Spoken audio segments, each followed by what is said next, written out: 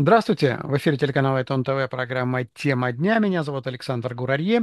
А, Подписывайтесь на наши каналы в Ютубе, подключайтесь к нашему Телеграмму, комментируйте, ставьте лайки, задавайте вопросы, мы постараемся ответить на них а, в наших программах. А, Ну, кто сочтет возможным помочь каналу, там есть две кнопочки «Супер, спасибо» и «Стать спонсором».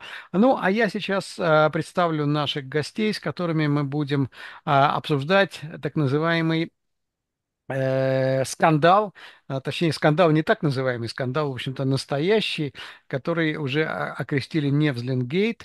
А, Я представляю наших гостей. Начнем, конечно же, с представительницы прекрасного пола, журналистка, военный корреспондент Шахида Якуб Тулиганова. А, Здравствуйте, Шахида. Рада вас видеть в нашем эфире. Михаил Гуревич, журналист, автор телеграм-канала Коля Хадашот. Миш, привет, добрый вечер. Приветствую. Давид Эдельман, историк, политехнолог, он даже в галстуке сегодня, просто я не имею, Давид. Ну и к нам, возможно, подключится еще э, политолог из Москвы. Э, надеюсь, что подключится. Итак, господа, э, Невзлингейт. То есть что происходит, на ваш взгляд, э, вот это расследование, которое выпустил фонд, э, фонд Навального, как можно его Фонд назвать, борьбы с коррупцией. Фонд борьбы с коррупцией, но в принципе это, так сказать, соратники Навального, это люди, которые э, с ним работали, люди, которые, так сказать, его поддерживали.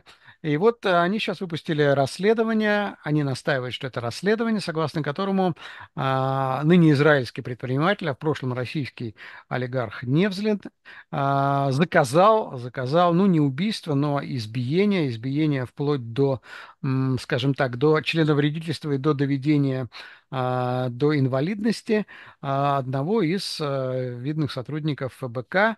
И что вы об этом думаете? Давайте начнем, наверное, все-таки с вас, Шахида. Вы человек, который занимается много и, а, так сказать, давно занимаетесь расследованиями журналистскими. Ваше мнение, это похоже на журналистское на- расследование или все-таки это больше смахивает на такой пиар, граничащий с, э, ну, может быть, с каким-то сливом?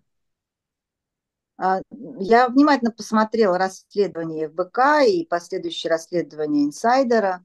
А, При всем уважении к всем людям, которые это делали, назвать это качественным журналистским расследованием нельзя, а по причине того, что источник в принципе один, а, ну, ключевой источник. И даже если бы там он давал очень много аудиозаписей или что такое, источник один, это тоже сомнительно.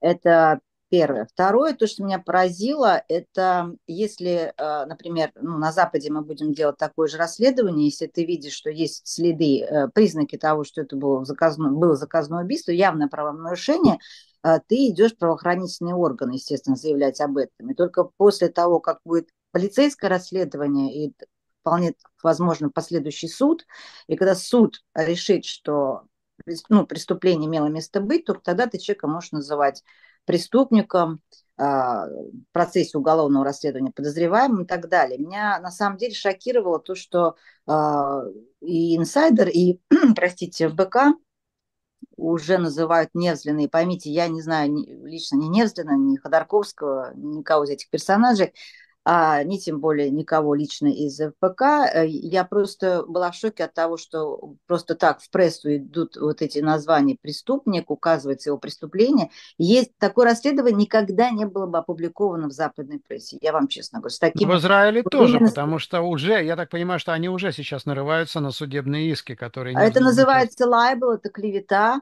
и по многим статьям абсолютно. То есть я вообще, э, люди, которые жили на Западе столько лет, но в том числе и Мария Певчих, э, э, не знать э, базовых правил ну, журналистики, ну, реально нарываешься на судебный процесс со стороны того же Ходорковского и того же Невзлина, например.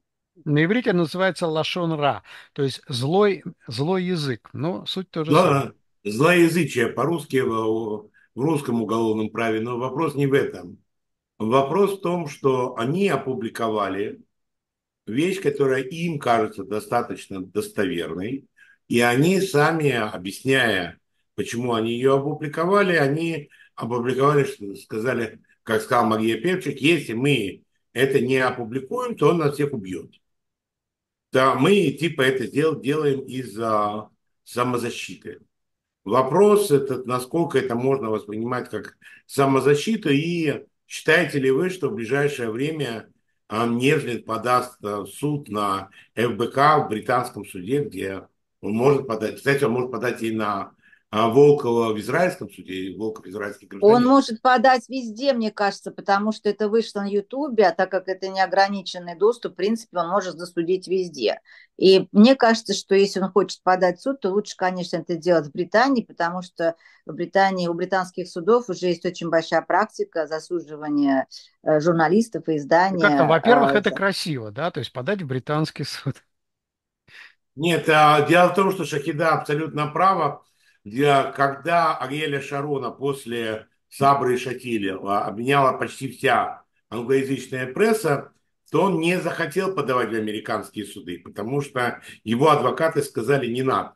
Я вот говорил с адвокатом Шарона, и он сказал, мы выбрали британский суд именно из-за особенностей британского права, где а, оклеветанный имеет больше прав в суде, а в американском суде больше прав имеет э, э, средства массовой информации или просто высказавшийся. Поэтому британский суд тут действительно гораздо более расположен к подающему к истцу, э, чем американский или израильский. Михаил а, Гуревич, Миш, да. что ты думаешь по этому поводу? Не, не получится у нас тут как бы качественной дискуссии, потому что нет у нас как-то значимых разногласий в позиции. А, наверное, к сожалению, для программы. Однако я бы отметил, что это, безусловно, очень э, грустный день для э, оппозиции, если можно ее назвать оппозицией, потому что если где и радуются происходящему, то, э, ну, скажем так, в редакции RT, которая первая опубликовала это расследование, mm-hmm. и, возможно, э, в хозяевах редакции RT. А, видимо, и, кстати, я подозреваю, что в Арте эта публикация появилась после того, как э, заказчики этой истории посчитали, что ФБК э, не повелись на провокацию и, видимо, не опубликуют, и они решили тогда уж, ладно, уж сами опубликуем.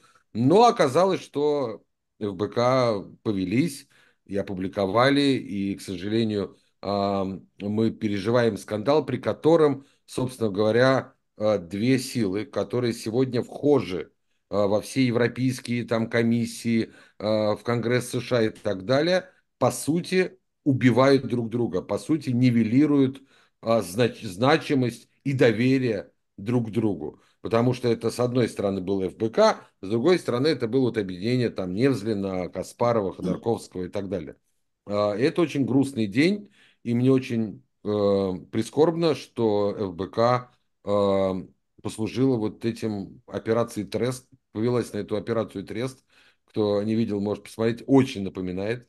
Да, и когда мне рассказывают про то, что э, ФСБ, да нет, ФСБ это только вот эти шпилевили, это Микки Ник. Ну, ребят, давайте недооценивать э, ФСБ. Все-таки давайте не забывать, что с одной стороны это заноза, вот в виде ФБК, а с другой стороны, это 60 миллиардов долларов, которые российское государство проиграло бывшим акционерам ЮКОСа. Тут есть деньги, за которые можно бороться и э, за которые там можно мстить и пытаться как-то сделать так, чтобы не допустить э, решения этих вопросов в ту или иную сторону. Поэтому вообще недооценка противника, она всегда приводит к очень плачевным результатам. А я, к сожалению, слушая расследования инсайдерс и других факт-чекеров, слышу постоянную недооценку. Не надо недооценивать. Секунду, Миш, я хочу уточнить. Ты имеешь в виду, что э, если это они... предположить, что это операция ФСБ, то они одна из целей была не допустить, как бы, то есть вроде они же уже проиграли судебный процесс, то есть после драки кулаками Нет, или это они... чистая месть?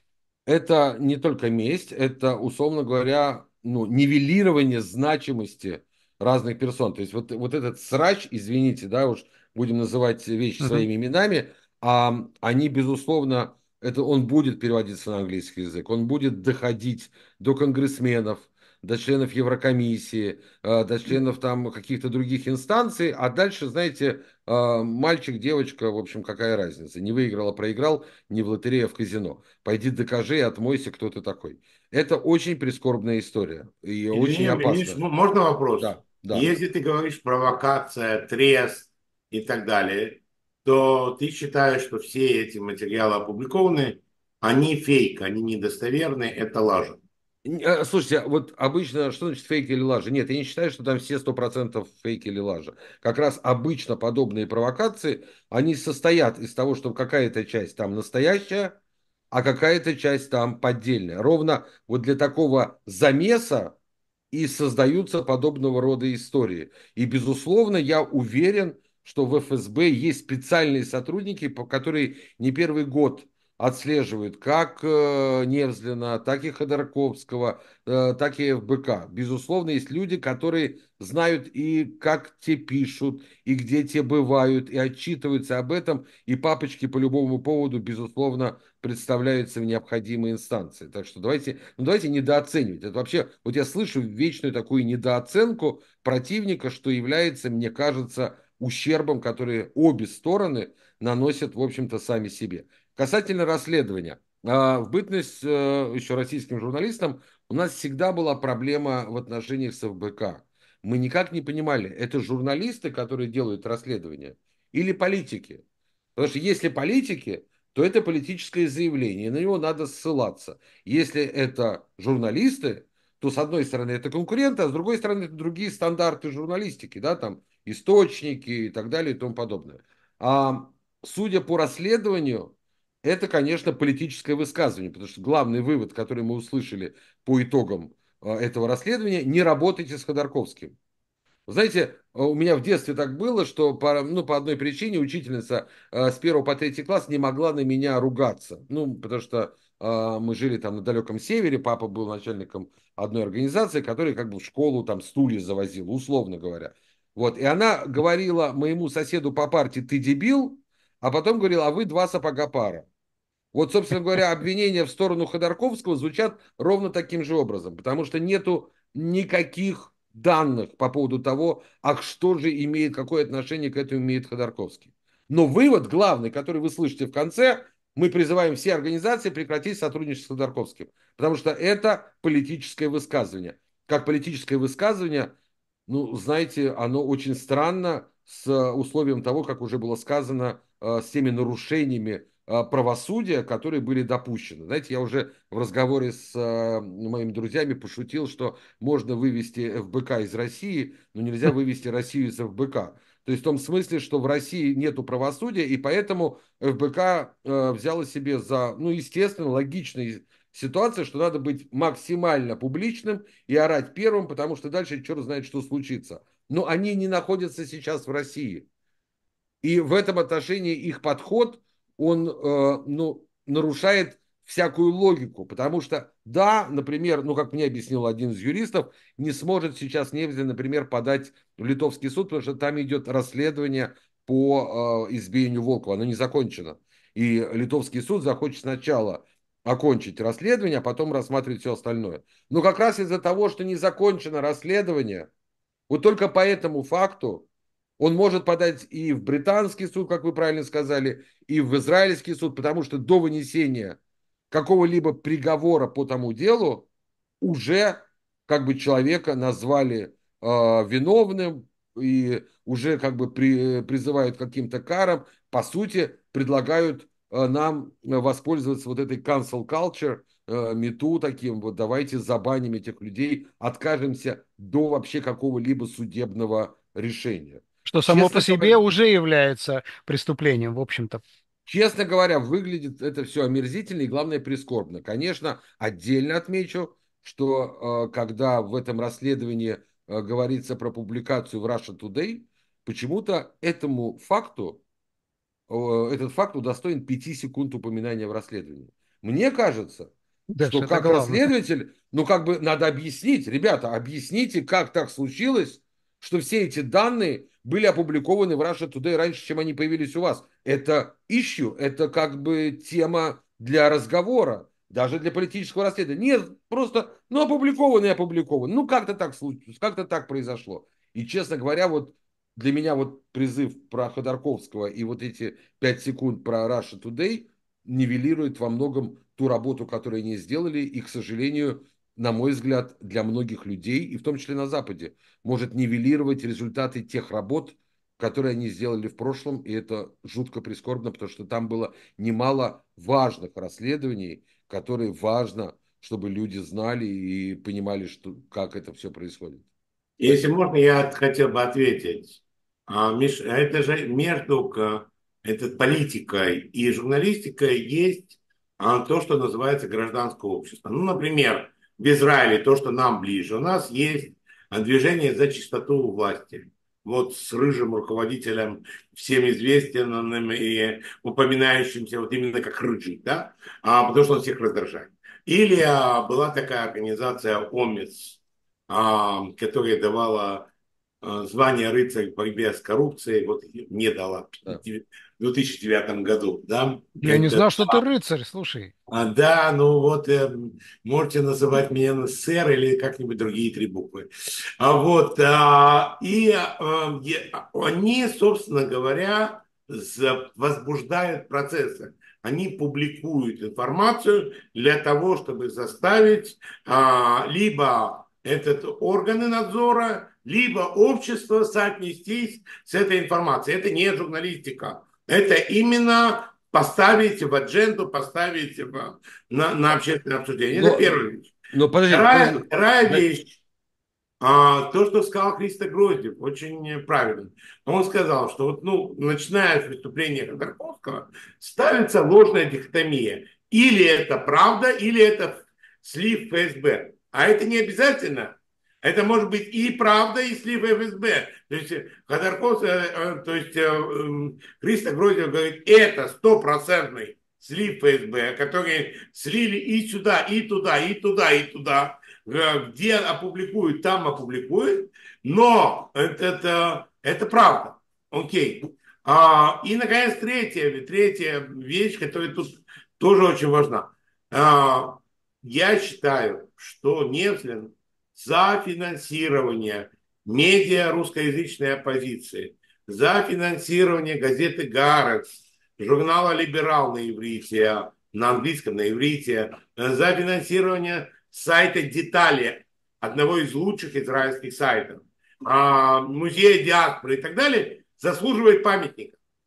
Но это, это сказать, вот э, поскольку он помогает этому, то давайте не будем смотреть на это, это очень циничная вещь. А, а вот именно это, в принципе, говорят там Портников, Катя говорит, он за Украину, он хочет э, разделить Россию на части, Поэтому неважно, заказывал он убийство, не заказывал убийство. Тем а более, что не убийство, там, да? да? Это же не убийство. Да, можно я отвечу, да, секундочку. А, значит, я не знаю, э, я жду решения суда, я доверяю литовскому суду, доверяю израильскому суду. Вопрос немножко в другом. Возможно, я допускаю, что там частично правда, частично... Так делается обычно провокация, это должен быть замес, потому что иначе это не работает. А, но, во-первых, я не соглашусь с тем, что везде опубликовали. Rush Today – это не то СМИ, где а, опубликовали, где опубликуют. Rush Today, если сказали, то опубликовали. А, и это как бы это важный как раз признак, что они решили опубликовать Rush Today. Это значит, что они в какой-то момент думали, что это нигде не пройдет. А, соответственно, надо было как это вбросить в паблик. А, что касательно, оправдывает ли это Невзлинова, вообще ни разу не оправдывает. И я очень хочу, чтобы был судебный процесс. Проблема-то в другом. Проблема в том, что и наши израильские общественные организации до решения богатства Верховного суда и до решения суда никогда не будут говорить, что этот человек однозначно виновен. Они будут говорить, и, в русском языке есть масса слов. Есть подозрение, что. Создается впечатление, что. А, сложно отказаться от впечатления, как. И так далее. То есть, знаете, здесь эфемизмов, поверьте мне, я вот умею просто писать длинные тексты, где будут сплошные э, трудно отказаться от впечатления там, и так далее и тому подобное. То есть это вопрос формулировок. Проблема данного... То, что называется на иврите кастаки. Да. Костах, Костах. А для перевода для британской журналистки а, защита для задницы. Абсолютно. Вот э, когда люди позволяют себе делать выводы и более того, а, выносить приговор, а вот призыв, условно говоря, Ходорковского, не работать с Ходорковским и с Невзлиным, это приговор. Тот самый приговор общественного порицания, который может как бы вынести люди. Нарушение итогам... презумпции невиновности и приговор без решения суда. Абсолютно. И именно это нивелирует все это расследование. Мы все будем следить так или иначе за следствием. Я надеюсь, что будет судебный процесс. Я хочу, чтобы был судебный процесс. Да, похоже, что, стало... что и Невзлин хочет, чтобы был судебный процесс. Ну, я надеюсь. Слушайте, в этом отношении ФБК тоже попала на ребят, у которых опыт судебных процессов э, ну, да. э, в британских судах, в голландских судах, где только вообще, ну, то есть я надеюсь, что ребята знали, на что они идут. Я, не, я, знаете, я не думаю, что они оценили, на что они идут, к сожалению. Да, одну секунду, я прошу да. прощения, к нам присоединяется Андрей Никулин, просто мы его представим и, значит, продолжим разговор. Сейчас вот он. О, Андрей Никулин, Сейчас, минуточку, машина не человек, и подумать надо. Сейчас. Привет, Андрей, здравствуйте, добрый вечер. Да, к нам присоединился Андрей Никулин. Да, привет, Андрей. Политолог. экран, экран, Андрей. А мы в эфире. О, да, чуть-чуть. Нас тут много. Михаил Гуревич, а, Шахида Тулиганова, может, вы не знакомы, э, журналист, э, расследователь из Великобритании, Андрей Никулин, политолог, Москва. А, Андрей, я на полфразе прервал э, Шахиду, позволю ей, значит, продолжить. А мы в эфире? Да, мы, мы, мы, мы разговариваем в эфире, да. Ага, Пожалуйста, все. Шахида, прошу прощения. А, да, я просто хотела присоединиться к Мише и сказать, что, в принципе, вот когда я смотрела все эти расследования, а, ну, последние два, мне казалось, что сами нашли, э, сами расследовали, сами уже осудили и приговор вынесли. А, я, не, я думаю, что они очень сильно просчитались. Нельзя на Западе такие вещи вообще публиковать, понимая, что здесь очень сильные суды. Опять-таки говорю, что я в какой, где-то очень уверена, что Ходорковский, скорее всего, если пойдет суд, то пойдет британский суд. И тут по-любому они проиграют, потому что это такая репутационная урон репутации и лайбл и все остальное, что тут не отмоешься просто ну, серьезно не отмоешься. И потом это было сделано все с такой истерией, э, да даже было неприятно. Ну, как бы, ну, так не работает. Ну, не знаю. Ну, то есть это не профессионально, на ваш взгляд? Это крайне непрофессионально. Но опять-таки, я уже про источники не говорю. Ребят, ну, серьезно. Ну, давайте, когда мы задаем... Причем они друг у друга, друг друга консультируют. То есть ФБК консультируется у, у инсайдера, инсайдер там потом тоже расследование, потом они друг другу какие-то вопросы задают. Ну, ребята, что за между собойчик? А на вопрос, что было мотивом, я до сих пор, честно говоря, не поняла, какой мотив. Ну, может быть, потому что я не в этой во всей а, теме, да, и я не совсем слежу, что происходит в российской так называемой оппозиции, или как там это называется, вот, я не, не слежу постоянно, но мне, как, мне хотелось узнать, хорошо, если он заказал, если заказал избиение Волкова, то на то должна быть какая-то ну, серьезная мотивация. Но все-таки э, ну, как-то что-то он должен был сделать. А потом все это вот э, по поводу зон, где был Навальный, тоже непонятно. Ну, ребята, источник кто? Источник ФСБ. Ну, серьезно, вот Михаил уже сказал, на Russia Today это было опубликовано. Это серьезный компромат. Ну, это реально компрометирует расследование, которое сделал ФБК Insider. Ну, я опять-таки не знаю, если с моей практики работы на BBC в те еще хорошие золотые времена, ну, такое бы вообще никуда не пошло, слово совсем. А, я просто отвечу, а, процитирую Певчих, ее в издании «Медуза» первый вопрос был, какой мотив? Она сказала, мотив искренняя ненависть а, господина Невзина ко мне, к Волкову, к Навальному и так далее. Как вот, там ненавидит, большой личный неприязнь, может, да? большой личный неприязнь испытывает. Да? А у меня вопрос к господину Гуревичу, потому что мы его должны отпустить. Да, Андрей, я прошу прощения, мы сейчас отпускаем э, Мишу, и потом вопрос, перейдем к тебе. А, да. Миш, как ты считаешь, какие это будет иметь последствия? Я, я сказал, что главное, на мой взгляд, ужасное последствие – это снижение доверия а, и к ФБК, и к Каспарову с э, Ходорковским, ну, то есть, вместе вот ко второй части, потому что вот, как бы, знаете, ложечки нашли, но осадочек остался. И для американских, и чиновников, и политиков, для европейцев – это вот некий такой осадочек, который оппозиция ну, в виде ФБК создала себе сама. Еще для, испо- для спонсоров, ты забыл спонсоров, Э, тоже Ну, важно. кстати, Ходорковскому вряд ли нужны спонсоры. Нет, вот я Значит, имею в виду сам ФБК тоже. вот с ФБК, если они проиграют суд, то да, появится много вопросов. Ну, Б- э, ФБК, я, насколько понимаю, еще частично как-то на донаты и россиян, ну, за, те, которые за Не, а кто границей. их, кстати, кто их финансирует вообще? А, смотрите, Главным спонсором был Зимин до э, прошлого. До вот «Предателей», если я не ошибаюсь, э, до вот Да, фильма до фильма Певчих. «Предатели», да. Да, да. Значит, соответственно, когда они работали в России, то ну, было 20-30 тысяч россиян, которые легко были готовы давать по 1000 рублей в месяц. В итоге это получается сколько там, э, 30, 20-30 миллионов рублей в месяц. Ну, мне кажется, достаточно э, для э, финансирования и функционирования подобной структуры и для качественных расследований более чем.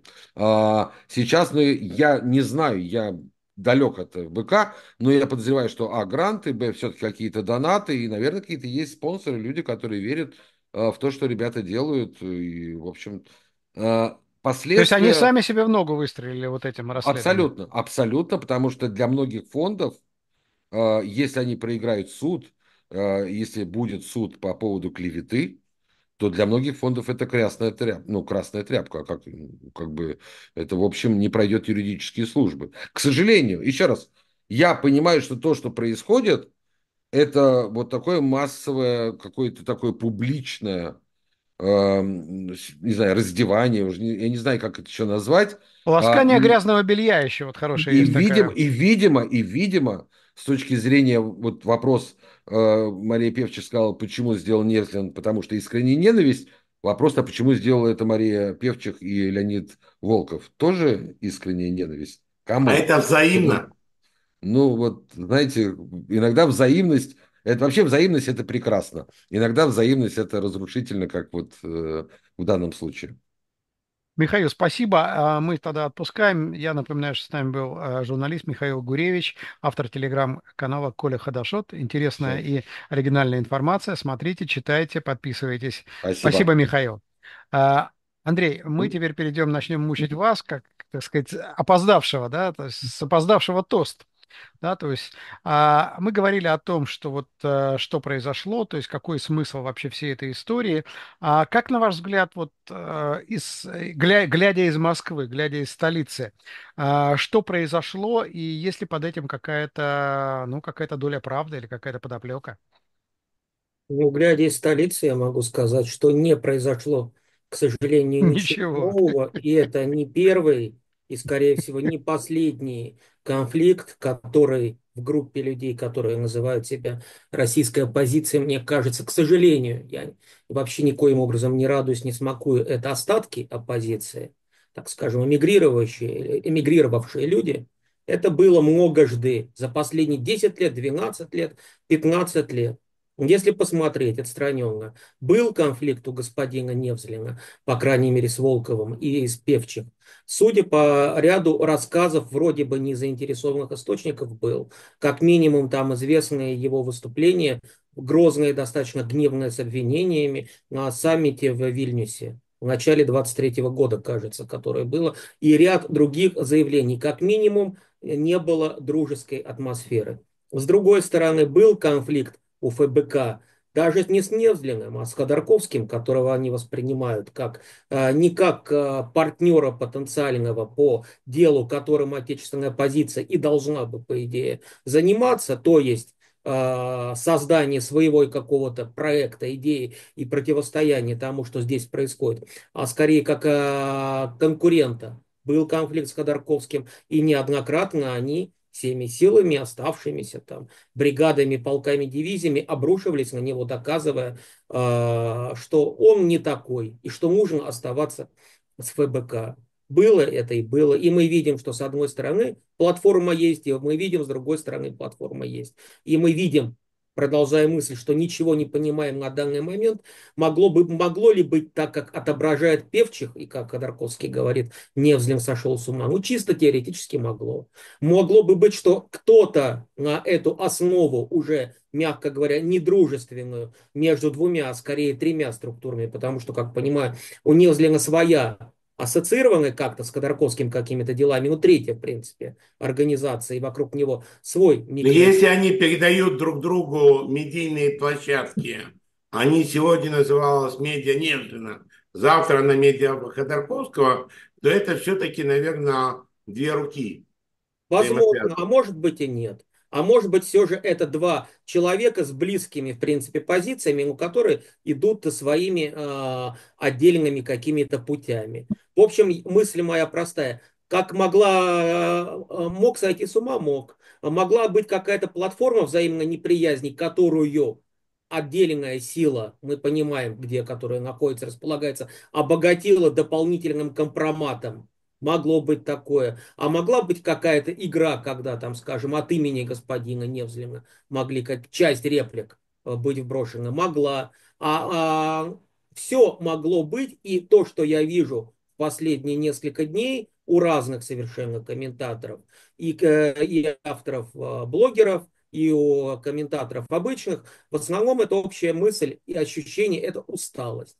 И самая частая фраза, не как раньше, когда там один лагерь сразу бежал с топорами на другой, и все активно бились и ругались, а скорее общая мысль такая, к сожалению, чума на оба ваших дома. И сейчас остается наблюдать, смотреть, но мы понимаем, что все варианты, могут, это самое печальное, что все варианты могут быть возможны. Может ФБК сводить счеты под это дело? Может, конечно. И мы видим, как господина Ходорковского вплели и вплетают, хотя вроде бы он никак в этом скандале не замешан, но продолжается. То есть, да, проигрыш того, что называет себя оппозиция, очевиден в целом, потому что репутация бьется. Никакие судебные процессы, к сожалению, в обозримом будущем, если и начнутся, то не завершатся дай бог еще расследование какое-то провести, если кто-то согласится. И на самом деле диспозиция останется такой, что два лагеря активно закидывают друг друга фекалиями, а в Кремле на это смотрят и радуются. А те люди, адекватные люди, простые люди, которые со стороны это созерцают, с еще большим ощущением, я нецензурное слово не хочу сейчас произносить, шока, так скажем, наблюдает за всем этим и понимает, что в принципе пока они, эти самые люди, не займутся этим процессом, ну, с этими ребятами, которые борются сейчас, никакой каши не сваришь. И в принципе, завершая мысль, возможно, это единственная положительная новость, что часть, существенная часть людей понимает, что никто не даст нам избавления, ни бог, ни царь, ни герой, и рано или поздно, и тем, кто остался в России, и, может быть, тем, кто уехал, но новым свежим лицам придется заняться самостоятельно всеми процессами, ну просто потому, что мы видим качество материала, из которого сделаны те, кто пытается или называет себя вождями, лидерами протеста, еще... Я не хочу еще раз никого обвинять. Я просто говорю, что в очередной раз в итоге мы видим безобразную ситуацию, и мы не понимаем, честно говоря, кому верить, просто потому что откровенно уже верить не хочется, не хочется никому. Как-то так. Вы знаете, я, наверное, не, не, не окажусь оригинальным, но у меня все это вызывает какие-то ассоциации с, знаете, вот с белой эмиграцией, вот русская эмиграция, там кто-то в Париже, кто-то еще где-то, и вот вся вот эта вот возня очень и очень напоминает вот все вот эти процессы. Нет, так тут, а, опять-таки, не надо быть оригинальным. Всякая иммиграция ведет себя примерно одинаково. У Ильи Оренбурга есть а, очерк о ленинском кружке в Париже, Лоджумо и так далее, куда он попал, а, попал из Бутырки, из российской тюрьмы. Ему там было лет 16, что-то в этом роде. И вот он а, оказывается там, и он говорит, а, он описывает это, приземистый, лысый человек за кружкой пива. И вот он держит речь и говорит термины козни каприйцев, легкомыслия периодовцев, тоже завистов, соглашательства троцкистов, а, уральские мандаты, ЦК, ЦК и так далее, и так далее. Он говорит, и любой, кто попал на это собрание не из Бутырок, а просто из Москвы, просто бы не понял, о чем идет речь.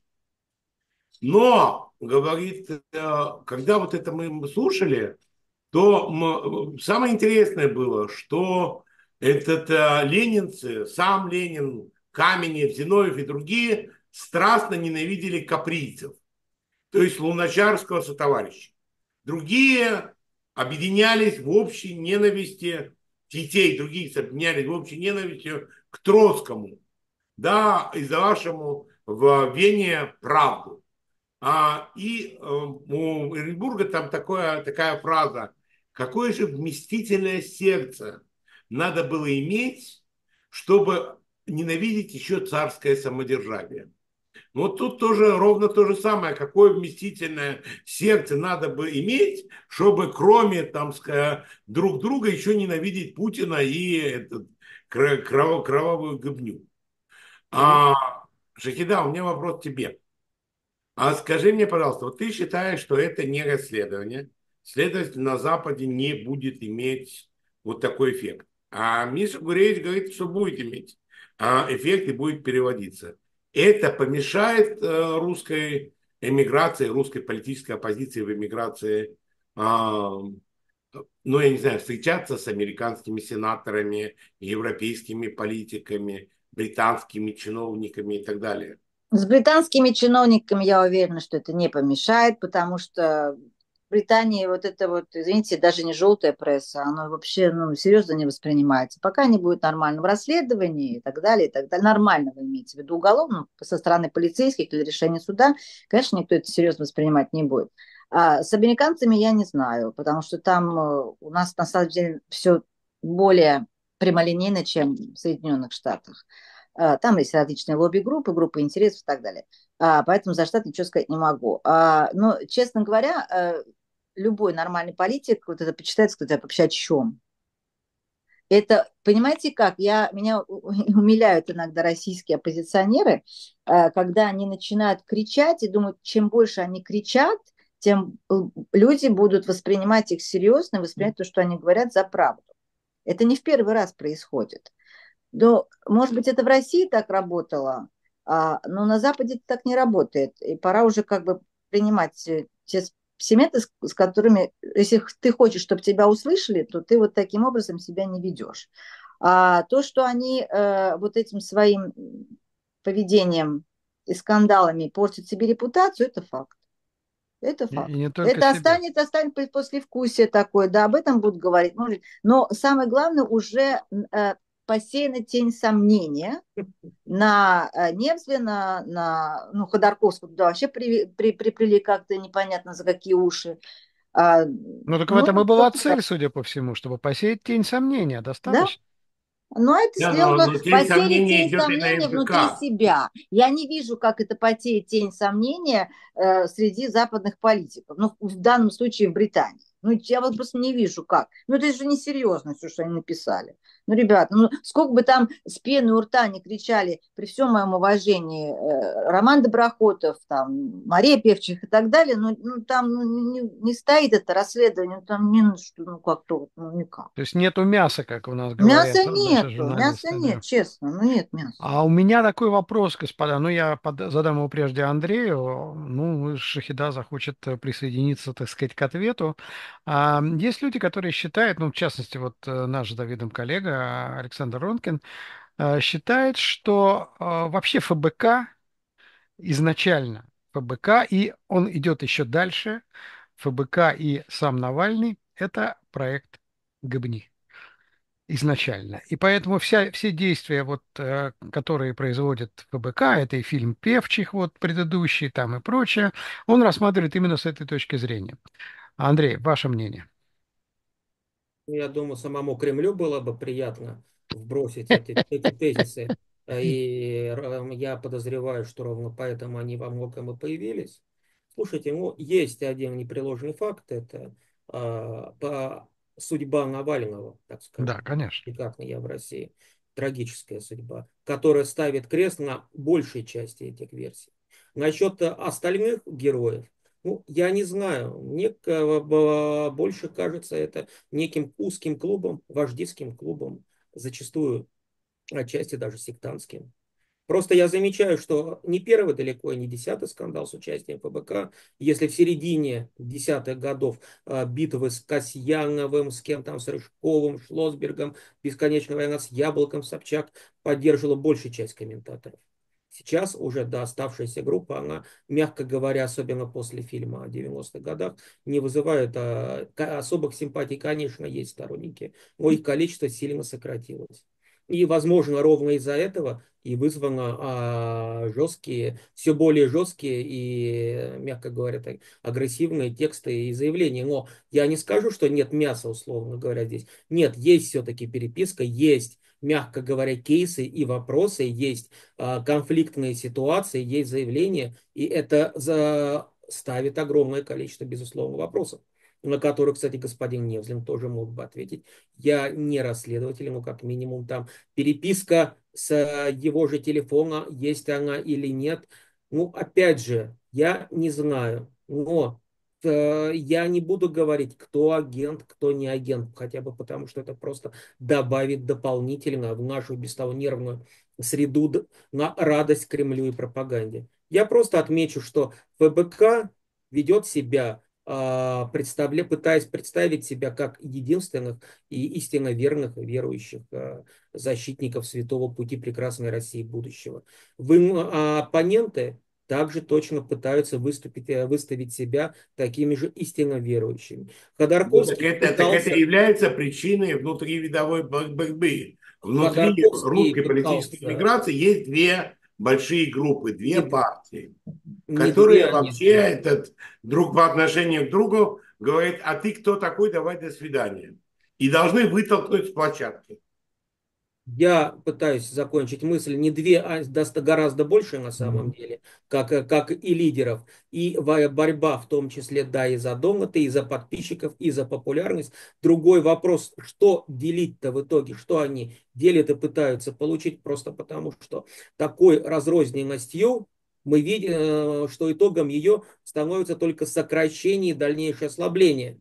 Тут речь идет не о том, кто будет следующим лидером в стране, а, извините, не сократится ли все это до мышей, а скорее всего так и произойдет, к сожалению. И мы будем в итоге наблюдать э, остатки оппозиционного движения с одной стороны, что-то новое, другое, на других совсем основах уже зарождающееся, я не знаю каким образом. Ну просто в природе не бывает пусто места.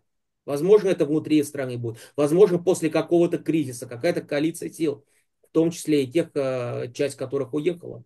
Но, еще раз говорю, э, те, кто присутствует сейчас, там накопилось со всех сторон столько гнева, ненависти и подозрения, что я не уверен, что они озонируют, мягко говоря, любой проект. Скорее наоборот, эти дрязги, они просто будут воспроизводиться, воспроизводиться. И не совсем вот аналогия с Лениным мне нравится, потому что к этому моменту все-таки у большевиков была как минимум революция 1905 года, не выигрышная, но достаточно нашумевшая, и которая привела в итоге к появлению Конституции какой-никакой Думы. И были парламентские фракции, и был э, не, не, тысячи, ну десятки тысяч, немного, но были э, сторонники в России, причем сторонники организованные все это проходили, в принципе. И свои органы прессы. И была самое главное возможность, умение в случае необходимости вступать в коалиции. И даже со своими противниками находить общий язык. Потом, конечно, бросали. Но тактически строительство коалиции э, Ленин, Ленин тоже отстроил прекрасно. И мы видим это результаты всего этого. У нас же, к сожалению, только это межевание. Еще раз говорю, единственное, чем бы это ни закончилось, это еще большее разочарование, к сожалению, во всех участниках процесса. Ну, Ходорковский как-то пытается балансировать сейчас над схваткой. Карамурза, слава богу, он не в деле вообще по очевидным причинам. Но все равно понятная ситуация. Все это очень печально. И общая мысль, что уже люди не хотят лезть во все это, читать это, знакомиться, но все равно продолжают вываливать информацию. И э, ФБК позиция, мне кажется, все-таки кто-то там искренне верит в оправданность этих обвинений. Другой вопрос, что да, э, под шумок они пытаются подстроить и свои политические аргументы и борьбу, опять же, с противниками, но, скорее всего, люди верят. А, что в итоге получается еще больше все друг друга ослабляют. И понимая это, продолжают все равно рвать друг друга. Ну, что сказать. Это... Мы должны объединиться чтобы потом решительно размежеваться, говорил Владимир Ильич. Э, Шахида, ваше мнение? Наоборот, размежеваться, чтобы объединиться. Ну, если бы я была бы на месте того же самого Невзлина, я бы, например, ни сейчас ни в какие перепалки не вступал бы, потому что любое слово... Он так и делает скажет, именно. А он и правильно делает, потому что все-таки не первый раз замужем, как говорится. Есть а, а, репута...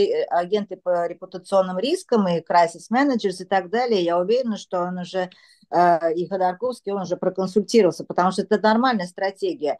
Э, их везде призывают там что-то опубликовать и так далее. Но если ФБК, опять-таки, я хочу сказать, я не на чьей на стороне, я не тех, ни других, я просто mm-hmm. рассуждаю как, вот, как, как журналист.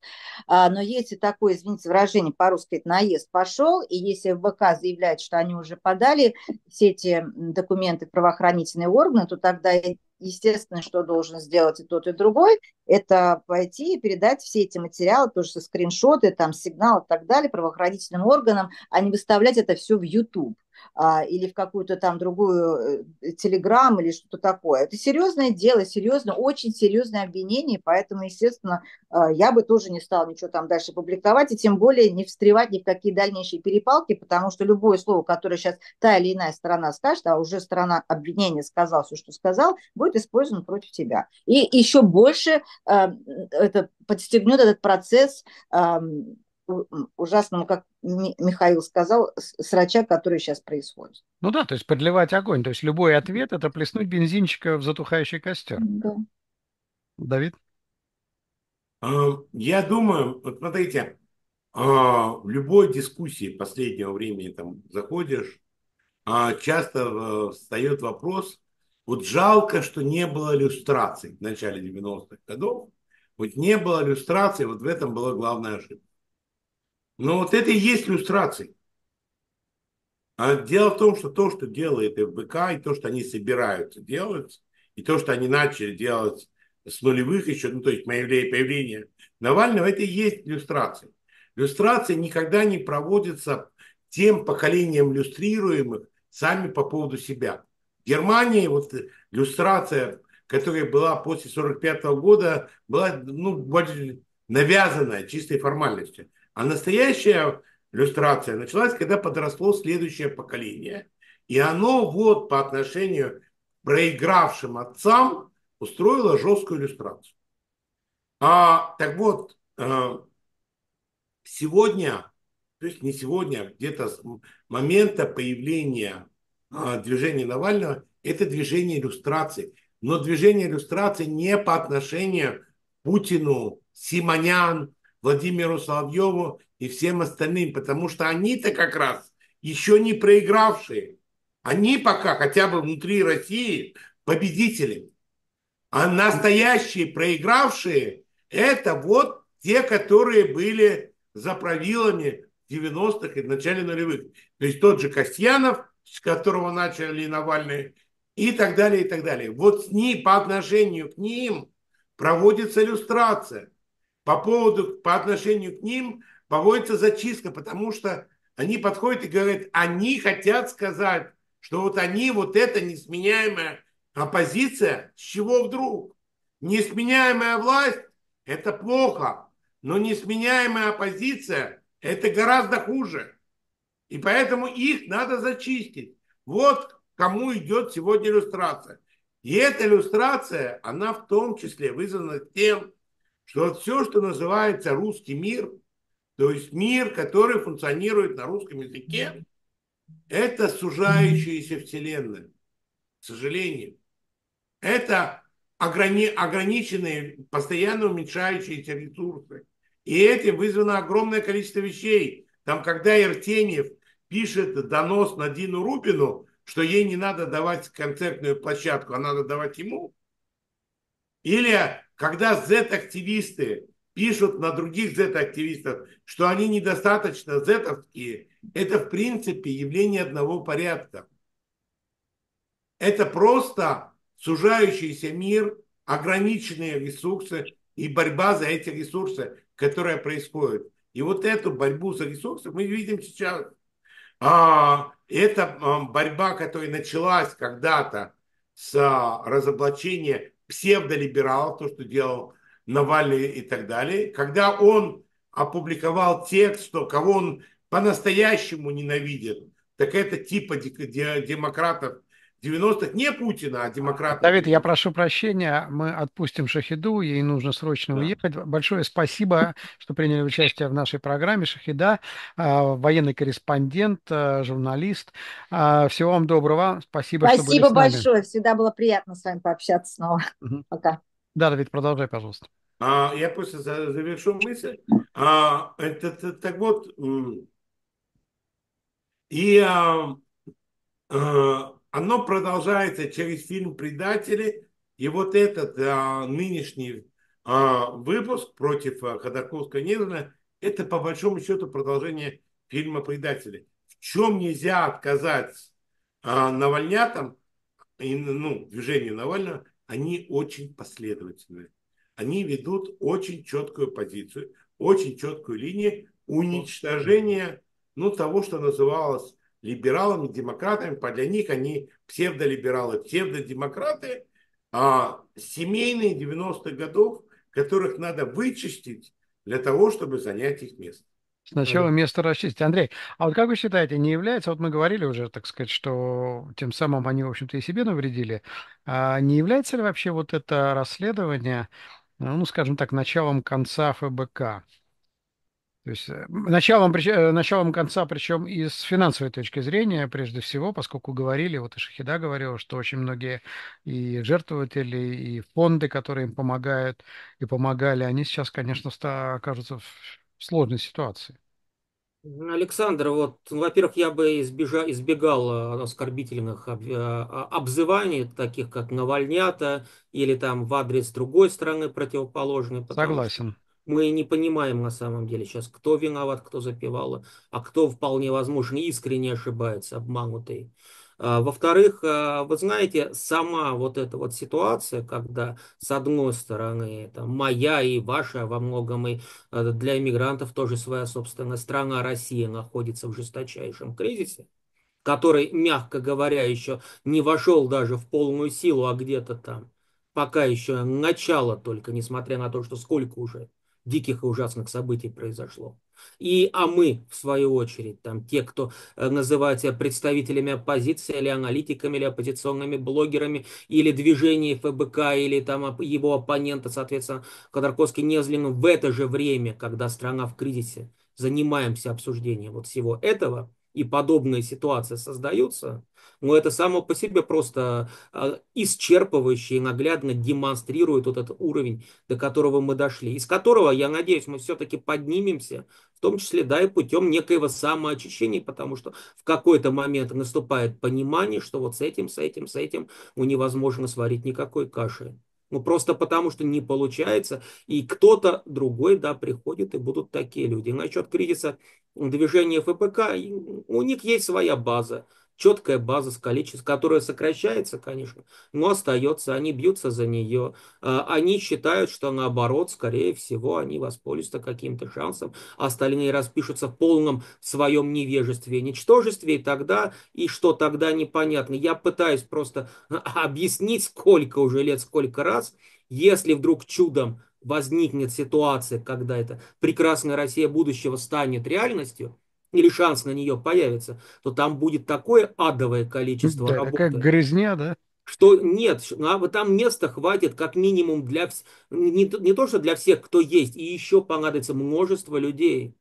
Но все равно продолжается эта грязня э, непонятно за что. Ну, просто это символ, симптом, диагноз. А, не очаровываться, смотреть, я лично это пропускаю мимо своего сознания, mm-hmm. и я не уверен, что в ближайший год-два мы узнаем, кто прав, кто виноват, если, конечно, не всплывут какие-то инсайды там, вот, так скажем, компетентных органов других стран. В данном случае я больше все-таки Христа вот там э, доверяю как относительно опытному расследователю и тексту инсайдера, после которых от мысли, что это вообще за хрень непонятная, все-таки у меня появились вопросы, все-таки что-то в этом есть, если люди, которых вроде бы на лжи не а, хватали, пишут и говорят, что может быть что-то. И это остается моей позицией. Может быть что-то. И я не буду никого обвинять, а Гулина сейчас не буду никого клеймить, пока единственное, что я могу констатировать, да, какое-то основание и общая неприязнь была, да, это могли исказить и э, фальсифицировать, а может быть из этого могло, могло, могло вырасти и худшее нечто, в чем обвиняют, я не знаю. Пока факт, что да, неприязнь была, и факт в том, что да, ФБК попытались параллельно заодно там, как в анекдоте, и под помидорчики свести счеты параллельно с Ходорковским, который на самом деле в стороне пока абсолютно видится. Это Андрей, все Андрей, ну вот э, если опять-таки возвращаться к Христо Грозеву, который сказал, что э, это стопроцентный слив э, ФСБ, и то, что ФБК повелись на этот слив, заглотнули наживку и начали это раскручивать, значит, они в данном случае выступили как бы в роли... И сам Христо повелся. Он дал Нет, последний, он сказал, да, но это правда. а, А, то есть, а, извините, пожалуйста, вот этот вот аргумент, он очень слабый, это то, что ты постоянно повторяешь. Это очень Какой, слабый какой аргумент? а, аргумент, кому это выгодно. Арест одного наркоторговца всегда выгоден другому наркоторговцу. Но от этого не обозначает, что наркоторговцев не надо арестовывать.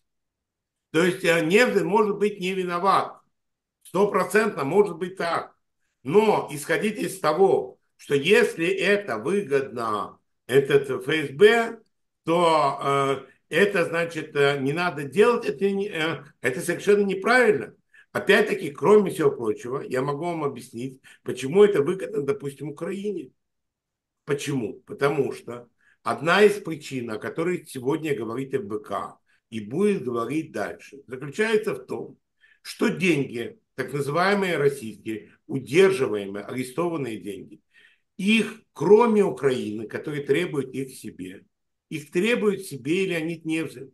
И вопрос, кому они будут даны первыми, это будет... То есть Леонид возмещение требует себе в рамках иска ЮКОСа, да, Да, точнее, или, дела ЮКОСа. или это возмещение Украины.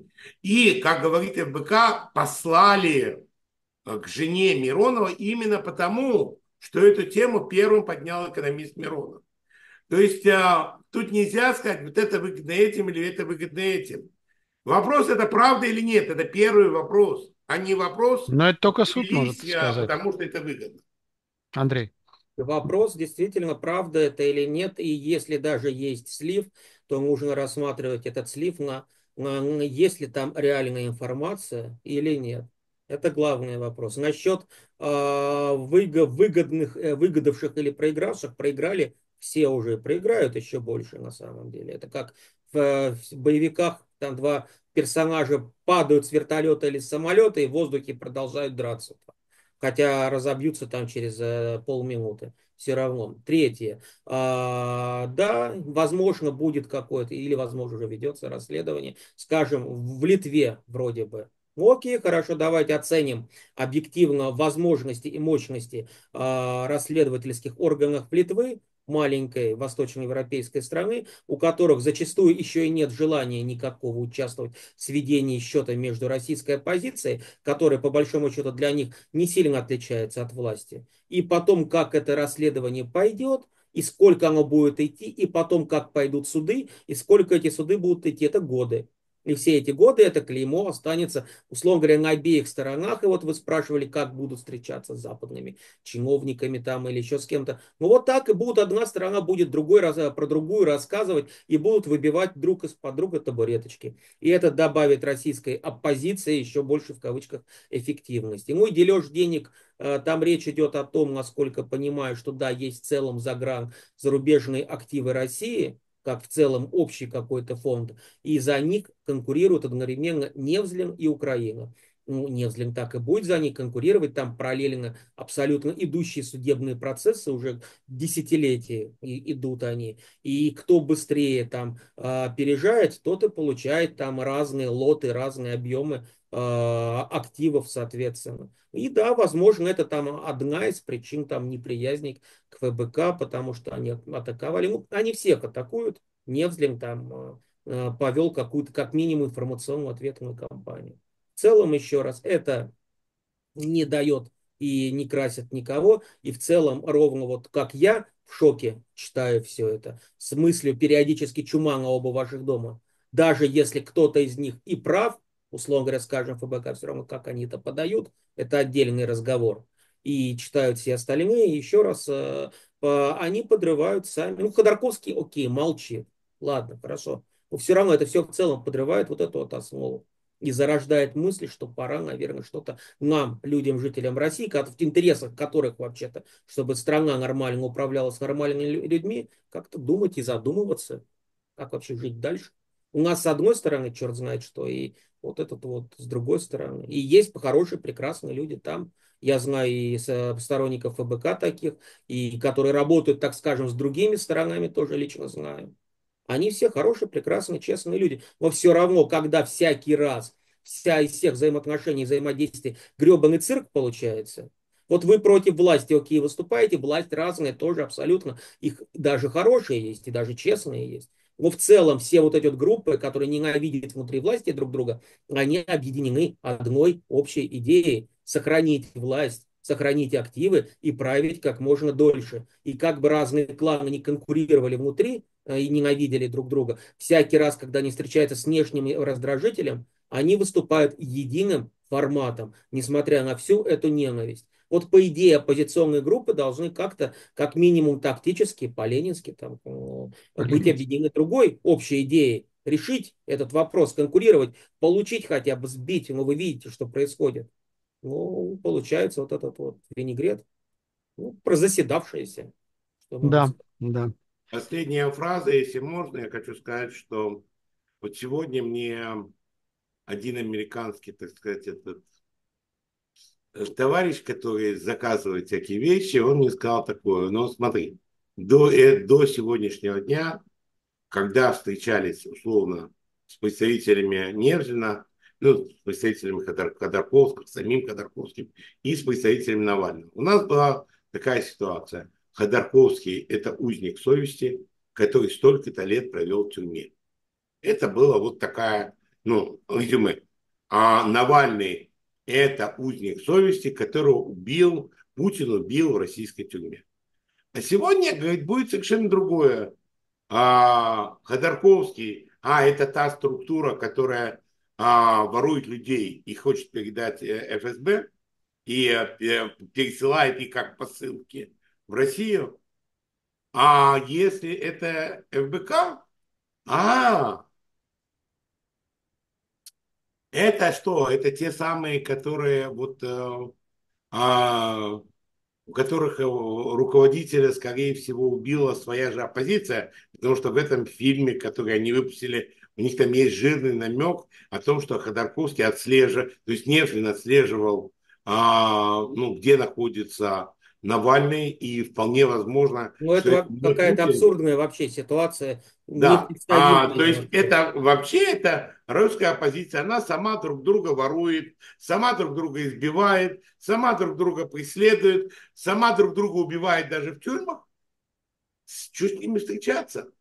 А, то есть вот э, когда есть была байка о том, что в э, оккупированном Париже на воротах гестапо висела надпись а, «Доносы русских друг на друга не принимаются». Да? Это байка, конечно. Но... Это про Одессу рассказ, по-моему. Да? Да, про Одессу и про румынскую охранку там. Но, окей, это байка, но а, вообще-то это вещь, которая действительно а, очень сильно ослабляет всю оппозицию, а не только Невзина или не только Ходорковского и так далее. Фактически а, каких-либо новых съездов, фестивалей на агентов, каких-то общих совещаний больше не будет. Правильно, что не будет. Ну, Возможно. А, а чего оппозиция, давайте откровенно, добилась за последние два с половиной года? Как-то удалось хотя бы по мотивам белорусской оппозиции Тихановской соорганизоваться в какую-то... Там тоже есть конкуренция, но все-таки не настолько нарочито, в какую-то структуру. Как-то удалось организовать а, четкие структуры вот этого миллиона человек, которые за последнее а, время, хотя бы части где-то расположены в Европе, как-то удалось единые органы информации. Речь даже не в единых органах информации, но просто э, напрашивается идея какой-то консолидированной политики. Ну, нет ничего этого. И когда кто-то говорит русская оппозиция, ну, есть люди, которые по ряду причин ну, не согласны с режимом, зачастую моральных причин. Все-таки, давайте говорить откровенно, многие из них отказались, могли бы жить гораздо лучше здесь, сотрудничая с системой. Ну, по ряду Ну, причин да. они э, уехали, ушли. Но, опять же, по ряду причин я даже... У меня есть некоторые мысли, соображения на этот счет. Вполне возможно, да, существует по опыту белой эмиграции, о которой вы говорили, достаточно серьезное количество провокаторов внутри структуры, которые как тогда же по методу тех же самых советских э, спецслужб стравливали разные оппозиционные группы, не давая им объединиться, так и здесь. Я не удивлюсь, если это так. Но тут другой вопрос, только что как они все ведутся постоянно, регулярно на все это, потому что можно Да. участвовать. Можно Спасибо. Спасибо большое, спасибо, господа. А, Андрей Никулин, политолог, а, Москва, Давид Эдельман, историк, политтехнолог. И с нами были и покинули нас несколько раньше. Это журналистка, военный корреспондент а, Шахида Якуб Телюганова из Лондона и журналист Михаил Гуревич, автор телеграм-канала Коля Хадашот, Израиль. Спасибо, господа, что были с нами. Всего доброго. До свидания. Наша программа подошла к концу. Да, и подписывайтесь на канал Андрея Никулина, там интересная и оригинальная информация. Ну, теперь вроде я все сказал, всего вам доброго, Доброе до свидания. Хмурое утро. Хмурое утро, Хмурое Гра- утро. грачи прилетели, да? Хмурое, вот прекрасное название канала, мне очень нравится. Спасибо. До свидания.